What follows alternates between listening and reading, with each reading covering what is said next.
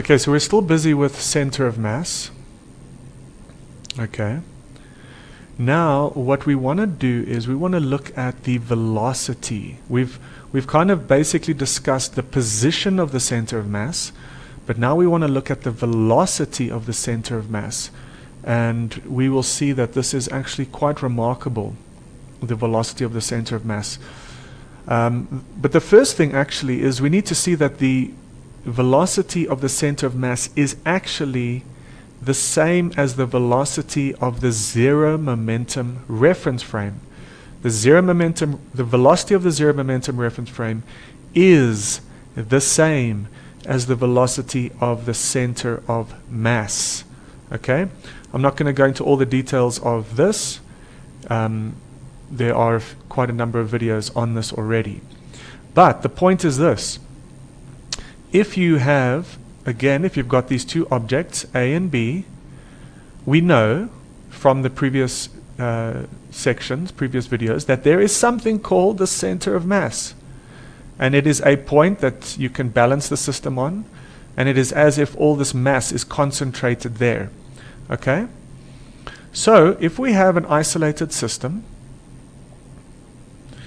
um, and say now A is going at 2 meters per second, and B is going at say minus one meter per second, and say they're both one kilogram, one kilogram, okay? How do we calculate our zero momentum reference frame or our, uh, sorry, the velocity of the zero momentum reference frame or the velocity of the center of mass? Right, we've done it many times. We know it, it's, it is the system momentum, system momentum divided by the system inertia. Okay?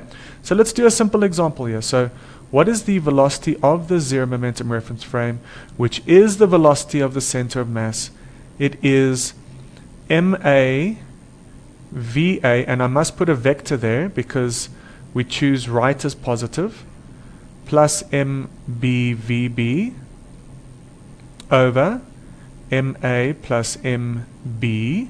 Is that correct? Okay. Email me if I've made a mistake. So what is this? What is the mass of A? It's 1. What's the velocity of A? It's plus 2. So we'll put a 2 in there. What's the mass of B? 1. The velocity of B is minus 1 divided by 1 plus 1 is 2. Okay, so now we get 2, this is 2, minus 1 is 1, divided by 2, so we'll see that this is 0.5 meters per second. So the, the velocity of the, the zero momentum reference frame, which is the velocity of the center of mass, is 0.5. Okay? So what does this mean? It means that in this system of multiple bodies with different with with masses or inertias I need to say and different velocities and coming at each other and then colliding and moving away from each other. Remember, it's an isolated system. At all times, because it's an isolated system, did I mention it's an isolated system?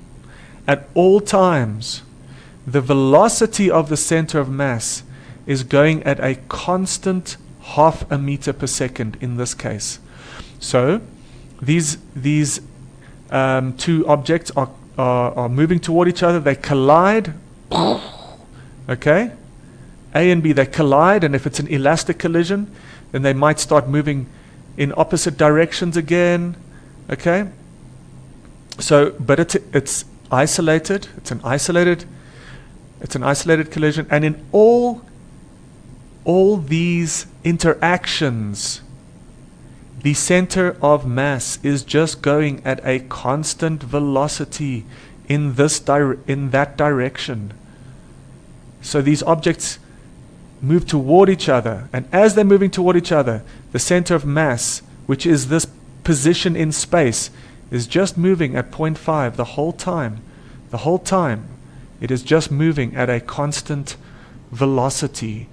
I really hope you see that. I've, I've got some pictures off the internet if you if you take a ball or some kind of projectile and you shoot it, we know that the projectile motion follows this kind of motion, right?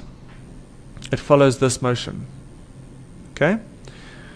Now, what happens if at a certain point this projectile explodes into two pieces?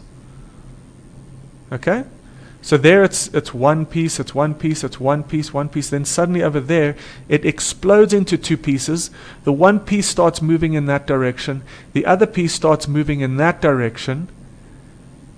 But there is a center of mass that does not change its position or, or its motion. It does not change its motion because it's an isolated system.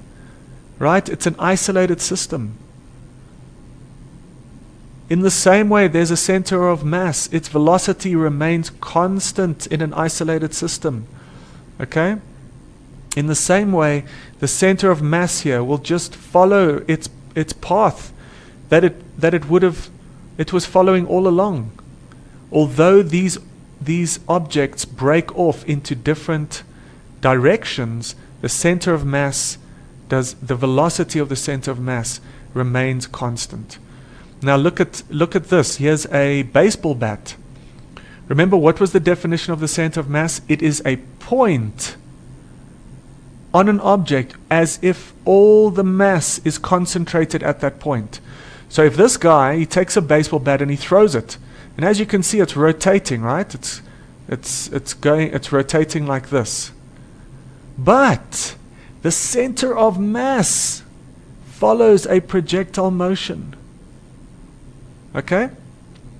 So it is as if all the mass of this uh, baseball bat was concentrated there, and then it follows pro- the projectile motion. Guys, this is a very important concept to get. I hope you get it. It will really help you uh, in the rest of your engineering studies. Okay, cheers.